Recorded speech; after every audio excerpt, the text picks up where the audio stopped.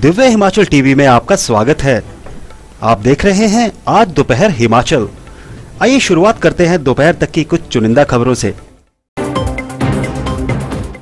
सोलन में सफ़ाई कर्मियों ने सड़क पर फेंका कूड़ा। होर्डिंग्स फाड़ने के दौरान मुलाजिमों से हुई बदसलूकी मचा बवाल।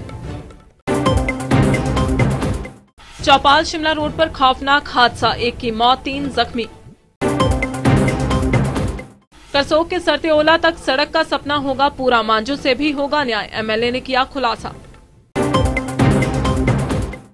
दिव्य हिमाचल बना किसानों की आवाज़। सूखाहार नहर से हटाई लोहे की जंग लगी पाइपें। अब समाचार विस्तार से।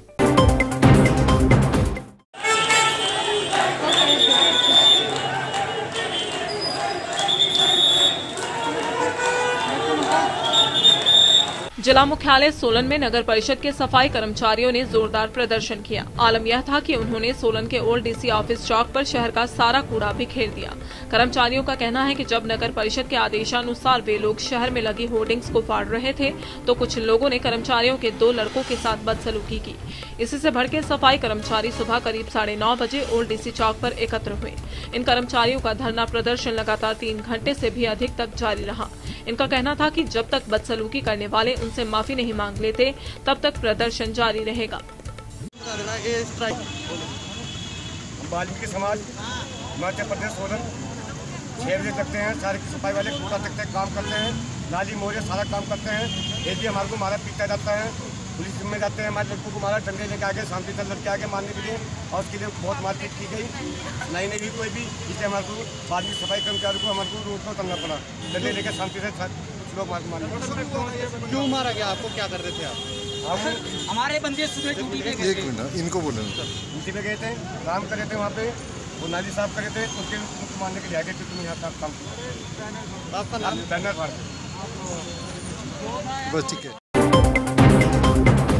चौपाल शिमला मार्ग पर रेउणी के समीप गलू में एक कार दुर्घटनाग्रस्त हो गई। हादसे में कार सवार एक व्यक्ति की मौत हो गई, जबकि तीन अन्य गंभीर रूप से घायल हो गए। जानकारी के अनुसार ठियोग के सैन से चौपाल की तरफ़ आ रही मारुति कार सड़क से करीब 30 फीट नीचे जा गिरी।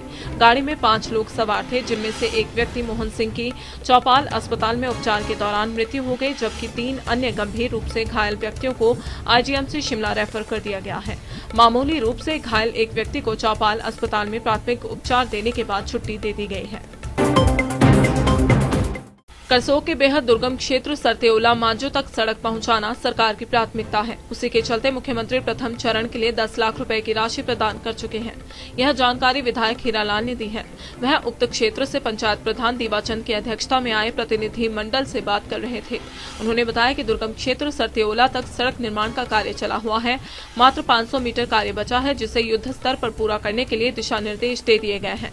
वही मांझू तक सड़क बनाने के लिए एफसीए की औपचारिकता अंतिम दौर में है। आज एक प्रतिनिधिमंडल सरताड़ा पंचायत से ग्राम पंचायत प्रधान श्रीमान दिवाचंद की अध्यक्षता में हमारे साथ मिल रहा है, बातचीत कर रहे हैं।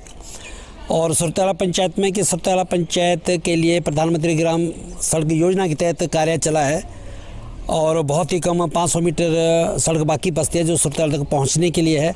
और हमारा भी लक्ष्य है कि ये सड़क जल्दी से पहुँचे ताकि सुरतला पंचायत हेडक्वार्टर सड़क से जुड़ सके।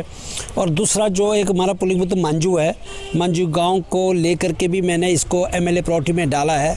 सुरताला से लेकर के मांझू तक। इसका जो है डीपीआर तैयार हो रही है और इसके साथ साथ इसका जो है एफसीए केस के लिए भी उसका उसका भी जो है एफसीए केस बढ़ रहा है, उसके टेंडर लग चुके हैं, वो कार्य कर रहे हैं। हिमाचल में दिव्य हिमाचल मीडिया ग्रुप किसानों का सबसे बड़ा साथी है। किसानों की हर मांग को दिव्य हिमाचल सरकार तक ले जाता है और उसे पूरा करवाकर ही दम लेता है। इसी कड़ी में दिव्य हिमाचल ने अमनगरोटा सूर्या में सूखाहार नहर को संवारने की मुहिम छेड़ी है, जिसने रंग दिखाना शुरू कर दिया है। दिव्य हिमाचल ने कुछ दिन पहले अपने समाचारों से इस नहर में जंग खा रही पाइपों का मसला उठाया था। नगरोटा सूर्या में जल शक्ति विभाग ने पाँच वर्ष पहले नहर के लिए लोहे की पाइपें मंगवाई थी। ये पाइपें नहीं डाली गई थी और ये जंग खा रही थी। दिव्य हिमाचल द्वारा मसला उठाने के बाद इन पाइपों को उठा दिया गया है। किसानों ने इसके लिए अग्रणी मीडिया ग्रुप का आभार जताया है। वही नहर के जीर्णोद्वार की भी मांग उठाई है।